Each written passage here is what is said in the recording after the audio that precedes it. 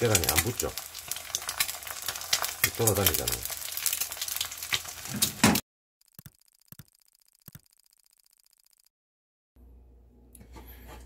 후라이팬을 두 개 새로 구매를 했습니다.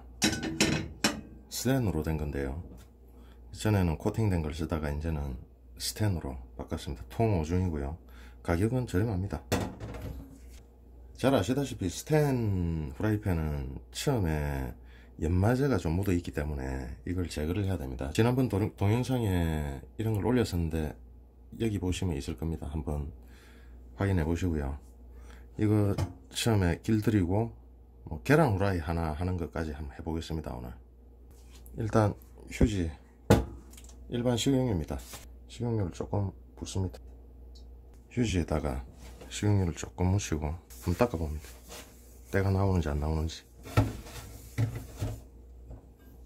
새까맣게 나오죠. 이거 다 닦아내야 됩니다. 그냥 바로 하면 이거 뭐다 먹는 거니까.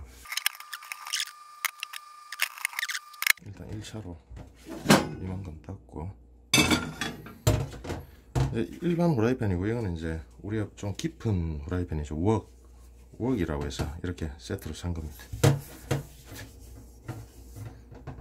어우 웍은 좀 심하네.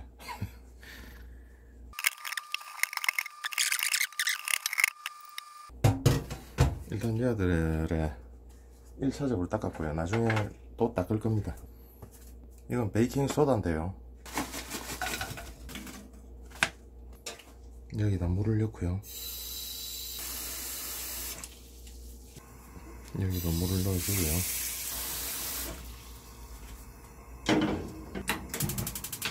둘 다 불을 붙여서 끓여줍니다.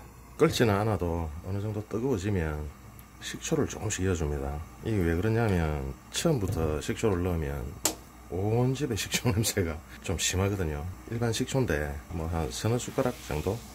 그 정도 넣으시면 될 겁니다. 끓이는 거는 한 5분에서 10분 정도 끓여주면 됩니다. 끓기 시작하고.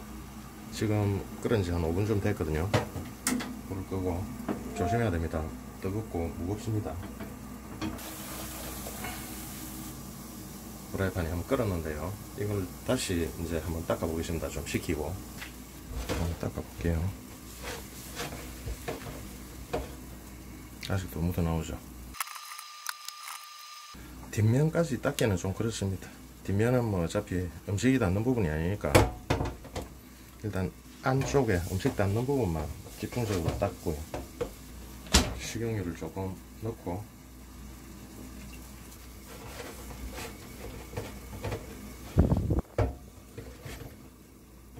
묻어 나오죠?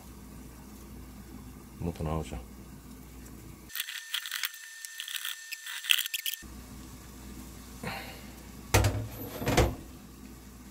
보이시죠?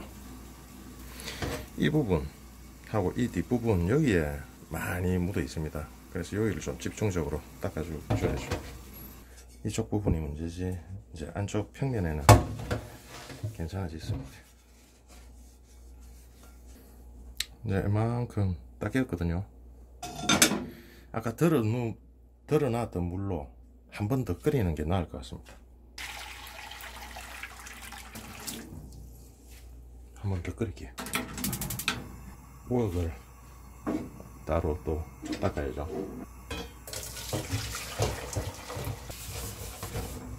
오 장난 아니죠?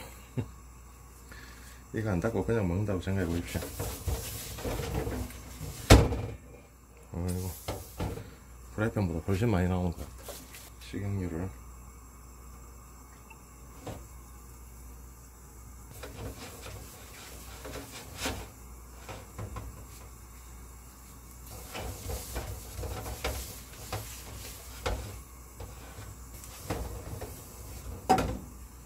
어우. 이건 거의 뭐 잉크 수준이에요.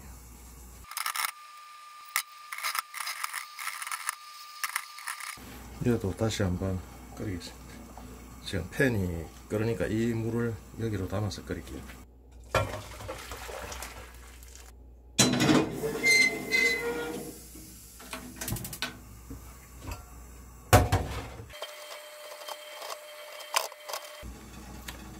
정도 많이 닦아졌습니다. 한쪽 면은 다 닦아졌습니다. 경계선 부분도 나름 닦아졌고요. 이제 우엉만 닦으면 되겠네요. 우엉에 있는 것도 다 걸었습니다.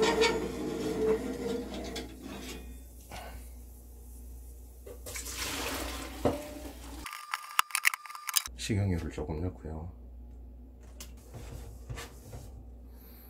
많이 닦아졌지만 아직 조금 나옵니다. 뭐 조금만 더 닦을게요.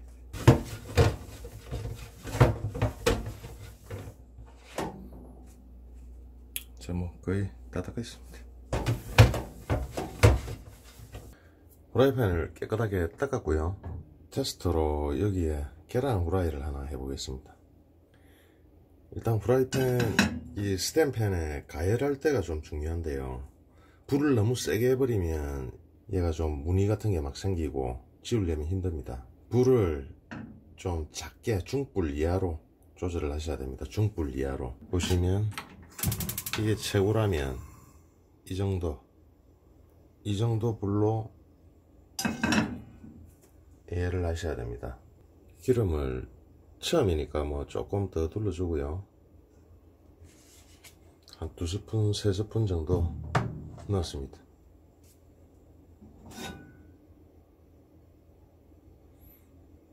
나중에 보면 이 기름 표면이 약간 파도처럼 일렁일렁일렁일렁 하는 현상이 나옵니다. 그때가 어느 정도 열이 잘된 상태가 되는 건데 한번 지켜보시죠. 한 번씩 이렇게 표현의 옆부분 이 부분도 한 번씩 기름을 묻혀 주세요. 여기 보시면 표면이 약간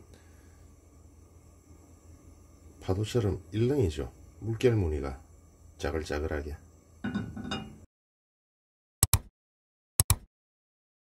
이 정도 약간 짜글짜글하게 이렇게 기울였을 때 이렇게 나오는 게 온도가 어느 정도 된 겁니다. 이때 계란을 하나 넣겠습니다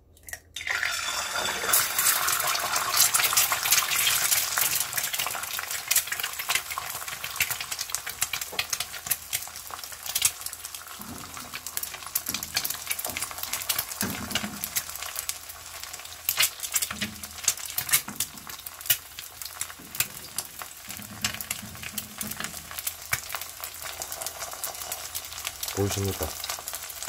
계란이 안 붙죠? 돌아다니잖아요. 어.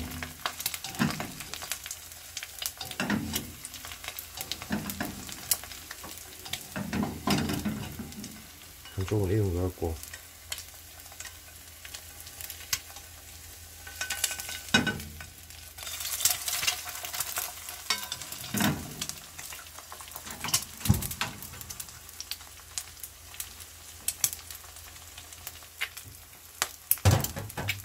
이렇게 하면 계란 후라이 완료입니다.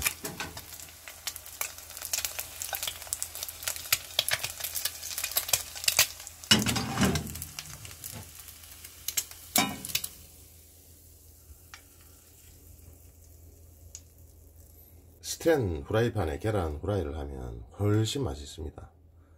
드셔보시면 압니다. 훨씬 고소하고 맛있는 것 같아요. 자 오늘 후라이팬 잘 닦아가지고 한번 계란 후라이까지 한번 해봤습니다.